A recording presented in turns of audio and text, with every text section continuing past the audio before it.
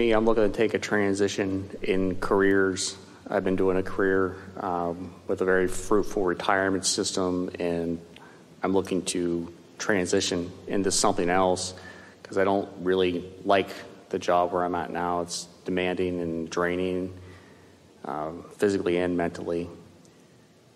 When you see that desire and you want to get to What it, is the desire? to get away Because from we- the negativity Yeah, of the job. See, that's tricky. The desire to not be where I am.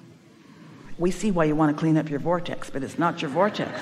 A desire for something different than the way that I feel. You don't have to identify the work, but what would it feel like to be? Because when you know what that is and you don't want it, what's over there? Describe this. Happiness, freedom, Yeah, freedom and happiness. And if you can, fill in the details a little bit. I'm respected, I'm understood. People know that I'm good at what I do. They know that I work well alone, but I work well with others. They know that when I get clicking on something that I can stay with it. They know that I'm determined. They know that I'll follow through with things. They know that I receive levels of inspiration, big time levels of inspiration. They know that once I get going, I sort of never ever want to stop. I love the idea of being with others that are like that marbles matching, marbles matching, marbles matching, who don't try to impose thoughts on each other. Instead, we understand the brilliance of each other and we like the collaborative thing that happens. I love interacting with people that are not looking for the credit all the time, but are feeling the inner satisfaction of moving in a direction. It's like, who cares who delivers the punchline? It's like the basketball players today, they get credit for the assists too. Not just the people that are making the points, they're getting credits for the assists too. And oh, when you are understanding the value of working together like that, that's satisfying. There's a synergy and a satisfaction that you have experienced on many occasions, especially in the beginning, that you can get back in spades. Doesn't that feel good? That's who you are. And you know how we know that? Because of all that you've lived and what you've put over there. We just described perfectly what's in your vortex. That doesn't need to be cleaned up. That is lovely. That doesn't need to be cleaned up.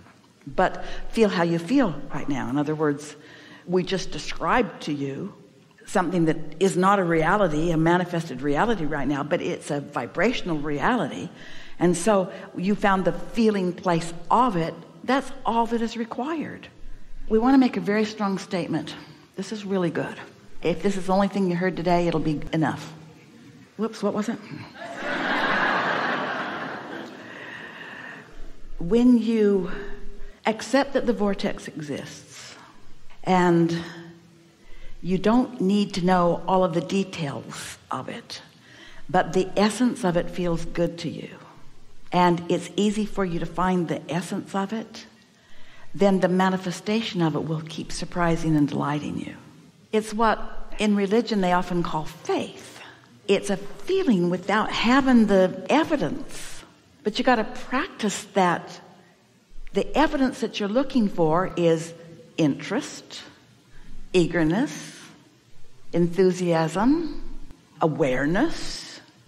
And as you follow that path, then plenty to surprise and delight you. Esther used to say, I get how I could be delighted by letting it in, but I don't understand the surprise part because didn't I put it all there?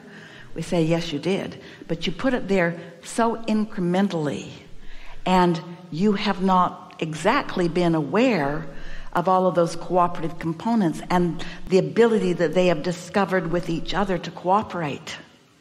Over there in that vortex of yours, all those bags of marbles of all those cooperative components have been conspiring on your behalf. So what's in your vortex is more than the sum of all the parts you put there. So much more. And when you get close to that and you get a hunch or you get a hit or you get a feeling or you get an interest and you follow it, that's when it will surprise and delight you. Does that make sense? And that's what you yearn for, but yearning is not a good feeling. That's what you're craving.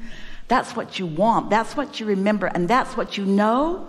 at deep levels of your being is possible. And that's what being alive in this physical body is about.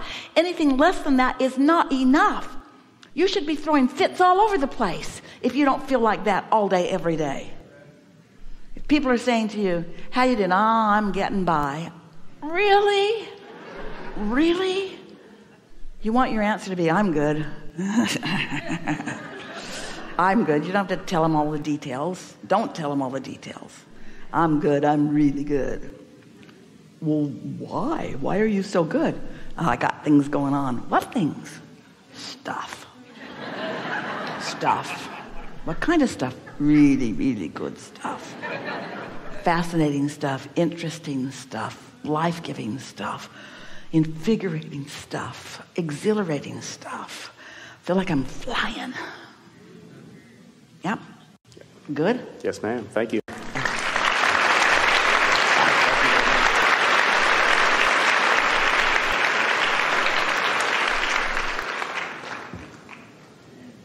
You shifted. Your point of attraction is different. Connect the dots, connect the dots, connect the dots, connect the dots, connect the dots. There is great love here for you. And for now, we are complete.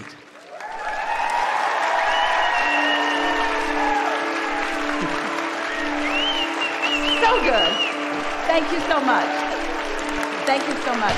Thank you so much.